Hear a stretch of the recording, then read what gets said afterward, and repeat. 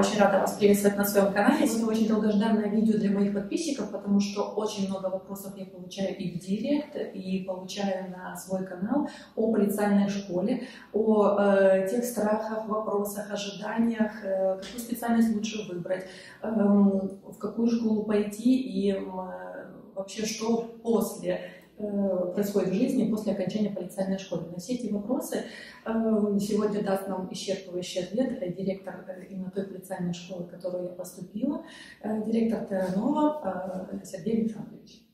Здравствуйте. Здравствуйте. Я готова на все вопросы. Да. Для, для начала хотела, самое главное, хотела у вас спросить, какие же все-таки есть специальности на сегодняшний день и что можно получить на выходе, скажем, кем можно работать потом? А, в школе сейчас э, три специальности, три направления. А, техника администрации, техника безопасности, гигиена труда и медицинский. А, техника безопасности у нас срок обучения два года, техника, э, техника безопасности и гигиена труда срок обучения полтора года, техника администрации год обучения, срок обучения два года и медицинский срок обучения один год. Что такое техник администрация? Техник администрации – это э, человек, который занимается офисом, то есть это фактически руководитель офиса, офис-менеджер. А, но самое главное, э, то, что мы даем, это то, что человек изучает будет здесь основы права Польши. То есть основа той страны, он находится сейчас. И, э, как мы считаем, что самое главное не знание языка, оно должно быть и присутствовать должно у каждого человека, который собрался эмигрировать, а, право. Если человек а, закончит нашу школу и прослушает те а, предметы, которые мы будем давать, это подстава права цивильного, подстава права административного, подстава права праці, финансового права, деятельность хозяйственная, предпринимательство, процессуальный кодекс административный. И на выходе получается человек, который знает, а, основу польского законодательства, б, знает польский язык хотя бы на уровне B1, а, знает украинский, русский, может быть, еще дополнительно и английский, а, знает и впитал в себя еще с рождения, я думаю, законодательства украинское, основа законодательства украинского, либо российского, либо белорусского. И а, в итоге человек может очень сильно себя позиционировать так, на рынке очень э, спокойно и с достоинством позиционировать себя на рынке как человек, который а, может а, заняться поиском а, сотрудников в Украине, поиском работников в Украине, как человек, который может администрировать их здесь, при наличии того, что здесь сейчас очень много иммигрантов, то человек, который знает польский, русский, украинский, там, английский и так далее, этот человек очень, очень востребован будет здесь на рынке среди работодателей. Плюс ко всему, по окончании человек не, будет, э, не нужно будет иметь ему э, разрешение на работу, не нужно будет делать никаких освещений, деклараций, так называемых. Э, декларации не нужно будет иметь. Если человек хорошо составит грамотное резюме, грамотно себя начнет позиционировать на рынке, он сможет сделать здесь карьеру. Кстати, извините, можно я вас да, да, Я хочу сказать о том, что я как раз учусь на этой специальности, техника администрации, и нас учат составлять резюме, учат составлять лист мотивационный, и ну, это круто. Ты даже если многие подписчики, например, тоже э, спрашивают, а как составить правильное резюме, то здесь тоже покажут и расскажут, как это сделать именно со стороны польского законодательства. Кстати, э, лист мотивационный, он должен присутствовать обязательно как дополнение к резюме, и зачастую он играет важную роль, важнейшую роль. Резюме проходит просто как визит, визитка, а, а мотивационный лист... Э, читает именно его. Именно читает его, да. И, это такой нюанс. Такой нюанс, да, на него надо обращать внимание. Очень сильно. Ну, вот такая вот ситуация. Что у нас с техником безопасности гигиены труда? На выходе. Это специалист по безопасности, я думаю, все мы знаем, чем занимаются такие люди. Но что э, произошло в Польше в последнее время э, с э, техниками безопасности? Например, возьмем предприятие LG, которое находится недалеко от Вроцлава, на котором работает очень много украинцев, и ежемесячный прием, оборот, как бы сказать, людей, иностранцев в LG, 400 человек, 400 человек проходит LG в течение одного месяца. И вот представьте себе, что надо прочитать технику безопасности для компании 100 человек, которые приехали вчера из а, Украины, а, их заводят в большой зал и читают а, лекцию по безопасности на польском языке. Естественно, такой человек не, не поймет ничего, что, о чем говорили, что тонкости не поймет никаких. Производство концов, производство сложное. Так. Кстати, я уже, уже нанял переводчика, и уже этот вопрос решен. Вот, но во многих предприятиях это осталась ситуация, когда читают лекции, человек не понимает, его просят подписать, он подписывает документы соответствующие, а в итоге это обычная формальность, и уже очень много руководителей предприятий и собственников предприятий задумались о том, задумались о том чтобы иметь на предприятии человека, который, а, техника безопасности, который а, знает польский, русский, украинский языки, который может переводить инструкции а, по технике безопасности, а на каждом производстве своя может быть техника безопасности, потому что производство существует разное и так далее. И поэтому специалисты при э, такие, при правильном опять-таки позиционировании себя на этом рынке вполне э, реально могут находить работу. Ну да, если ты будешь эти полтора года не формально отсиживаться, а действительно получить да, знания, да, да. качественно э, сдать экзамен, то тогда будет. Да. Дальше опекун медицинский. Опекун медицинский, будем говорить так, это направление, которое везде, в Польше, по всему Европейскому Союзу, а, в Америке, в Австралии, везде востребовано. А, кроме всего прочего, наши выпускники получают еще э, возможность э, работать по всей территории Европейского Союза, и этот диплом будет действительно по всей территории Европейского Союза. Мы проверяем сейчас Канаду. В Канаде уехал наш выпускник один, не знаю, как закончится дело, примут ли его диплом или нет в Канаде. Но это тоже шанс, потому что, извините, для Канады а, это тоже дефицитная специальность, не только как для э, Германии. Вот в Германии там уже кричат об этом, что нам там очень нужно много да, медицинских. Я очень много вижу объявлений. Вот. А, и э, хочу сказать, что и мужчины, и женщины востребованы. А, в Европе даже существуют сайты специальные по поиску опекунов медицинских мужчин, потому что нередко нужна будет еще и физическая сила. Ну, мужчины востребованы, потому что, например, надо больного или больного клиента, пациента надо будет поднять на руку, отнести в ванну, сделать какие-то процедуры. Перевернулся в конце концов. Да. А, вот. И я хочу сказать, что некоторые, у нас есть выпускники, которые работают нами медицинскими, а, и здесь вопросовая работают, и за пределами вопросовой работают. И довольно-таки уже взрослые ребята, которые говорят, да вы что, я никогда больше не стану на конвейер, а, на завод или на фабрику. А, дело в том, что во время работы на конвейере человек 10 часов или 12 не может, ну, там, просят, по-разному, бывает у нас, я ну, на чего это 12 часов уже работает, да, действительно. Вот, я не приветствую это. Вот. Ну, представьте себе, человек отстоял, там, ну, берем 10 часов, отстоял на конвейере. Какой из него... С двумя перерывами по 10 минут. С двумя перерывами по 10 минут. Какой из него потом выходит человек после работы? То есть мочалка уже, да? То есть mm-hmm. это не человек, это уже существо, потом, потом дойти бы домой, домой да? Просто это монотонная работа, это не с кем поговорить. да. да. Вот.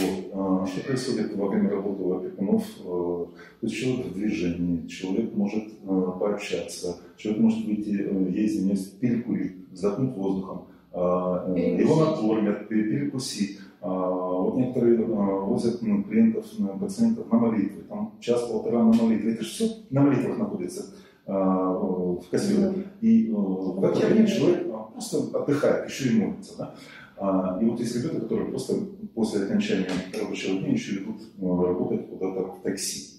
Я не хочу рекламировать компанию, но ну, здесь равно, что есть возможность по графику еще а, что-то У них энергия остается, да. да. У них остается энергия и еще подрабатывать. Сергей Александрович, очень важный вопрос. Можно ли прийти к вам в школу без знания польского языка?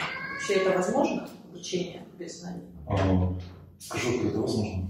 Возможно, если есть желание. Ну, человек может прийти без знания польского языка, а, но а, без старания будет очень тяжело. Нужно будет стараться. Наши преподаватели а, подобраны таким, таким образом, что они преподают на таком понятном польском языке, на, на что окончания были слышны, чтобы речь была четкая, вот, тембр подобранный, да, да. вот, они Малгажата, Очень хорошо. Я сама учусь, и я хочу вам честно сказать, что у меня есть в группе девочки, которые не знают абсолютно польского языка, но э, все понимают, и у нас есть и презентации, даже кто не улавливает на слух, мы можем читать, мы можем нам сбрасывать презентации даже на дом, то есть можно переварить через себя это за словариком, поэтому все возможно. И тот, кто хочет, тот э, через полгода уже начинает разговаривать и писать на польском языке. И я думаю, что в этом ничего не страшного. Самое главное – желание желание и э, результат. Это уже по опыту не один раз было. Плюс ко всему, э, человек, который э, прошел первый семестр и не знает еще польского языка, не может нормально как-то э, сдать экзамен, переживает и так далее, ну помогает, ничего страшного, ну помогаем. Семестр, два помогаем. Дальше, третий, четвертый семестр, мы уже, я думаю, человек должен самостоятельно да. да. Плюс есть курсы, правильно? Плюс есть курсы польского языка, да. Курсы недорогие, на мой взгляд, по 7 злотых у нас получается час. Вот, э, и э, курсы будут э, настолько специализированные, что, например, если техники администрации, то там будет с лексикой правной. Если ПХП, безопасность, лексика именно по безопасности и гигиены труда, там будет присутствовать лексика. Если медицинская, там будет присутствовать медицинская лексика непосредственно тех курсах языковых. И преподаватель. У нас просто замечательный преподаватель, на мой взгляд, самый лучший вопросовый, очень креативный. И носитель польского языка. И, ну, естественно, носитель да. польского языка, да, с силовичным Хорошо. А э, какой-то есть возрастной ценз при поступлении в школу? От скольки, скажем так, и... Нет, то есть есть нижний порог, если это 18 лет. Вот, обязательно 18 а, Да. Вот. Ну и э, нет верхнего порога. Хочу, кстати, сказать, что все эти э, э, прохождение медкомиссии это тоже бесплатно, потому что когда вот я проходила, мне выдавали в деканате список тех медучреждений, с которыми у вас заключен договор. Это да. тоже очень удобно. А, кстати, касательно языка, я хотел вернуться еще к языку. А, сейчас а, школы уже закуплены, еще не смонтированы. У нас будет лингофонный класс такой с современным оборудованием. Что это очень сильно поможет в изучении польского языка. Поэтому мы смело можем принять людей, которые еще не говорят на польском языке, но и от вас будем требовать, чтобы вы старались учить русский язык, чтобы мобилку переводили на русский язык, чтобы дома а, браузер переводили на русский язык. Очень важный нюанс, совет запомните его. Это обязательно должно присутствовать. Вы должны окружить себя русским языком хотя бы на один год. Тогда будет, и тогда будет он. А, давайте уже перейдем непосредственно к э, самому приему в школу. У вас, э, я так понимаю, два э, семестра. Это вы можете принять... Два приема в год. Два приема в год. То есть это август, либо все лето. Ну, да, если начинается, летний, летний набор начинается приблизительно с 15 июля. Ага, и, за, и заканчивается, да, заканчивается приблизительно 15 сентября. А, зимний набор начинается с начала января и максимально заканчивается 15 февраля. Могут быть э, продленные сроки, могут быть сокращенные сроки. Где-то это индивидуально. Почему? Потому что э, мы уже второй год на технике администрации набираем такое количество людей, что мы не можем обеспечить э, классами и преподавателями. Ну, да. Поэтому мы стоп в том, набор, да, да. в том наборе мы объявили стоп буквально там, за месяц до окончания набора. А, по закону, я думаю, в этом году тоже может произойти такая же ситуация, потому что у нас принято довольно-таки много на наборе. На избирательниц, которые сейчас, да? да? Какие да. нужны документы? польском переводе, украинском, что как вот? Аттестат. Самое, самое главное, это документ э, о полном среднем образовании. Я хочу сакцентировать внимание, что должен быть, должно быть полное среднее образование. То есть не 8 либо 9 классов, не базовое или не оконченное среднее образование, а полное. Это может быть э, школа, это может быть э, профессионально-техническое училище, это может быть колледж, это может быть техникум.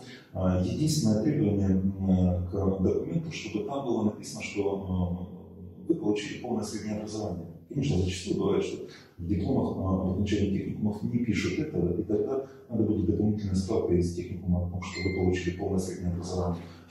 15 минут готовится эта справка, быстро ничего страшного в этом нет. Вот. А, плюс нужно перевести эти документы, аттестат и оценки. Вот, кстати, язык. Очень важно, где их переводить? Еще э, непосредственно в Украине там или в Нет, очень важно, очень, ага. очень важно, очень важно. Это еще раз настаиваю на том, что очень важно, лучше переводить их здесь, а, в Польше, потому что в Украине а, бывает очень много ошибок, делать не, не связано с грамматикой, хочу переводчиков крайней мере. Это связано с незнанием ситуации, которая, требований, которые здесь возникла.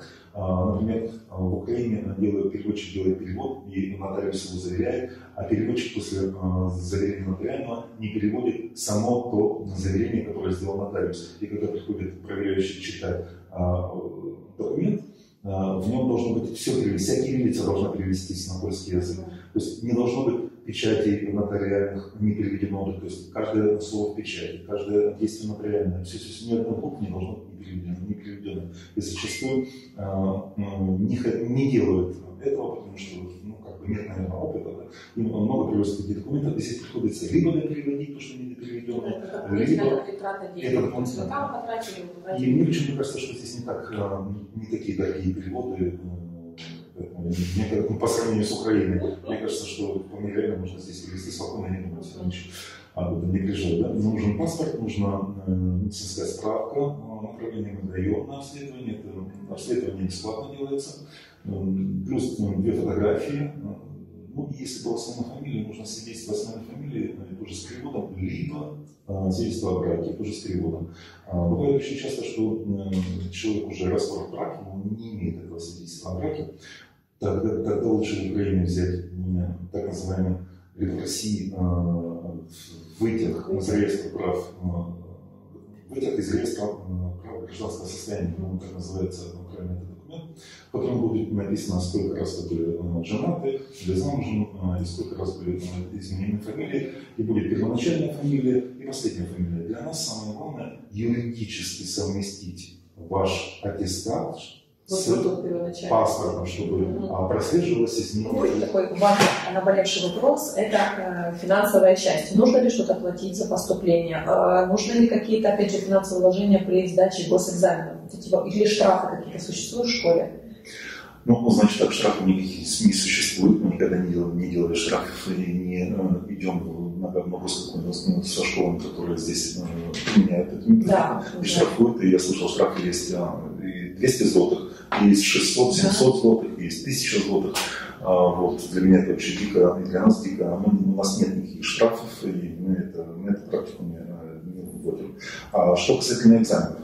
До сегодняшнего дня все экзамены были бесплатные. Я надеюсь, что в дальнейшем будут бесплатные экзамены.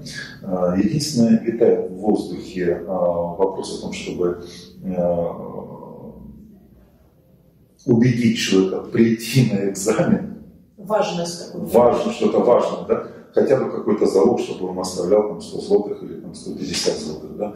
Вот. Ну, ну это пока летает в воздухе, я думаю, не будет это применено, потому что с 1 сентября 2019 года все экзамены уже есть обязательными, и человек, который не участвовал в экзамене, он не получит о окончании школы полицейского. Сейчас правильно я понимаю, вы говорили о экзаменах по окончании. То есть не промежуточные идут, а только самые последние. О промежуточных экзаменах вообще мы не говорим, да. все бесплатно. Вот поступил человек на технику администрации, и а, все два года он бесплатно учится. Вот, вот это и а, мы говорим о государственном экзамене, который будет, будет через два года.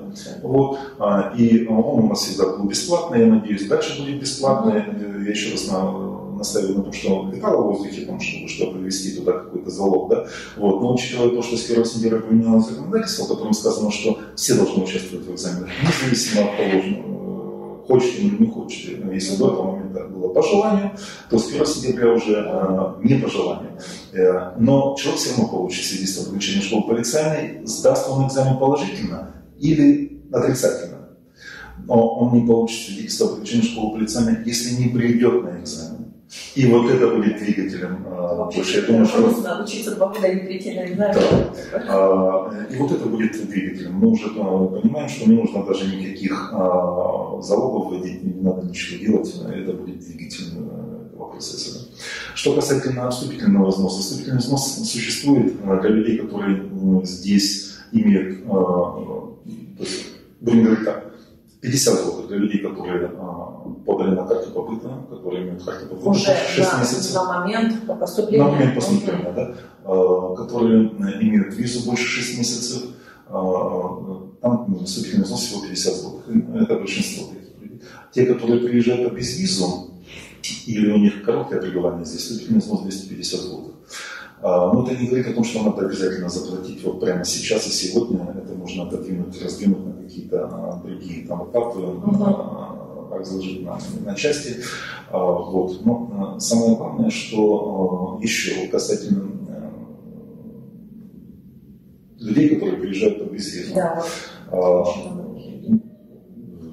Как бы все руководство школы пришло к выводу к тому, что мы просто как бы должны страховаться от людей, которые приходят к нам для того, чтобы просто взять документы, получить визу и а, гулять по Польше, а, где-то а, в другом городе, а, заниматься своими делами и так далее, и так далее. Или получить карту по и заниматься а, своими делами. Поэтому это как бы так вот ограничивает поток людей, таких, которые просто желают прийти для того, чтобы забрать у нас документ соответствующий, на основании которого получить вид на жительство здесь, либо визу. Поэтому это вот такие вот ограничения. Плюс еще, что касательно по безвизу, человек может подать документы на обучение к нам, но учиться по безвизу бесплатно не может. А, у нас еще никто платно не учился, э, сразу хочу сказать, но э, в, э, если человек подал документы по безвизу, да. нужно как можно быстрее подать документы на, либо на вид на жительство, на карту, на карту побыта, либо по работе, либо по учению, либо на визу. И а, человек может спокойно учиться. То есть, если он пришел, например, там, 1 февраля подал документы, он, желательно, чтобы до конца февраля он сделал, подал документы на тимчасовой опыт. А, государство, опять-таки, не хочет оплачивать обучение людей по безвизу, так как считает люди, которые находятся здесь по безвизу, туристами. Ну, вот. Временными а, такими. Да, не хочет финансировать, потому что финансирование государства довольно-таки высокое, и э, человек, который пришел только на три месяца, и государство, государство не видит, что желает дальше учиться или нет, не может понять документально, и вот они вот пытаются таким, таким способом ограничить. А, я не думаю, что это страшно а, подать документы на карту побыта, на, на жительство либо на визу, получить визу или а, карту побыта. Можно подать на карту побыта и дышать этого года, извините, да, и закончить обучение. Но ты легально будешь находиться здесь, и можешь учиться. Для того, чтобы государство видеть, ты хочешь учиться. И будет тебя финансировать спокойно, без всяких ну, задних мыслей о том, что вы турист, не турист. Угу. Спасибо за этот нюанс, потому что действительно много людей спрашивают, э, можно ли как-то через провинциальную школу остаться в... Да, конечно же, можно. А, я думаю, будут еще вопросы касательно если гарантия, допустим, получения визы или ну, карты побыта и так далее. Я, я очень часто слышу эти вопросы, я всегда говорю, гарантию дает Господь Бог, либо офицер консульства или служащий отдела по делам воеводства. Да? Вот. И не, ну, бывают отказы, бывают проценты, ну, будем говорить так, э, практически процентов 20 бывает отказов. Но э, мы должны понимать, что если одно и то же консульство дает э, визу, и одно и то же консульство другому человеку отказывает визе, то в 90% случаев то школа не виновата, вина школа. Uh-huh. Может быть ситуация такова, что где-то обнаружили человека, где-то какие-то хвостики, может какие-то штрафы больше остались. Да, может, да, все может быть. Вплоть до того, что может, человек совпадает фамилия с разыскиванием каким-то человеком да, на территории Украины или Польши или России. Да. Все может быть. Uh-huh. Глаза не понравились ваши фотографии. А консул не обязан, совершенно не обязан информировать вас точно причину вашего отказа. И ни, ни одна школа еще не имеет письменно подтвержденной причины отказа по школе. Многие говорят, что вот не хватает часов. Нет законодательной базе не описано количество часов. Самое главное, а, консул, а, либо а, инспектор в воеводстве, в управлении воеводским, они должны понимать, что у человека нет возможности ездить в Украину туда и назад, на занятия, из Украины на, на занятия больше, да, вот. Технически это невозможно. А мы в своих а, документах, приглашениях, засвечениях, которые мы даем ученикам, мы указываем, мы, кроме самого засвечения, мы даем план занятий, а, во-первых. Во-вторых, мы еще даем наши разрешительные документы, прикладаем, и берем план занятий. В плане занятий у нас указано, кроме того, что занятия по субботам и воскресеньям два раза в месяц. У нас занятия по субботам и воскресеньям два раза в месяц. Это заочная это, школа. Это на все специальности, да? На все. На все. На все. Э, это заочная школа. Э, и э, мы дополнительно указываем польский язык, который у вас два раза в неделю происходит. Он однозначно происходит. Ну, то есть это, это, это там программные часы, и а, вы можете посещать их, можете не посещать. У вас есть обязанность посещать программные часы. Но никто нам не запрещает указывать в расписание понадпрограммные часы. Так вот мы указываем, почему мы имеем право? Мы имеем право указать польский язык. Вы же ходите, ну, кто-то же ходит на польский язык. Мы его указываем, что ходит, ходит на польский язык. Это еще плюс два дня в неделю. Там, а, вторник, ну, пятница, да? Вот. Дополнительно, а, почему там другие школы не указывают, я не понимаю, дополнительная практика. Но вот у нас техника администрации до этого момента было 320 часов. Ну, же надо человеку пройти практику 320 часов. Мы ее указываем. А, разбиваем указываем, что человек проходит еще дополнительно практику 320 часов. Вот.